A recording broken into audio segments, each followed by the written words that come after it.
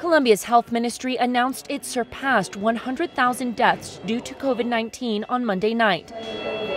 The country witnessed a record number of coronavirus infections and deaths in recent weeks, extending the pandemic's lengthy third peak here.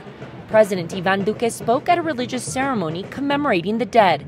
The government blames weeks of anti government protests for the surge. Es triste decirlo. It's sad to say, but more than 10,000 deaths could have been prevented if we hadn't had conglomerations in the last six to seven weeks. And it's sad to say, but those 10,000 deaths in the last six to ten weeks surpasses the number of deaths in our first five months of the pandemic.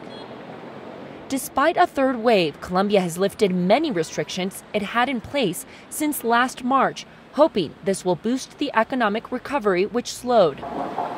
The deadly COVID situation is going from bad to worse in South America with the spread of new variants, low vaccination rates, and weak healthcare systems to blame for the high death rates. A region with 5% of the global population accounts for 25% of COVID 19 deaths worldwide. Almost a million people have died across the region. Brazil alone surpassed half a million deaths over the weekend. Thousands of citizens protested across the country over the president's handling of the pandemic. We did exactly the opposite of what other countries did to fight the pandemic.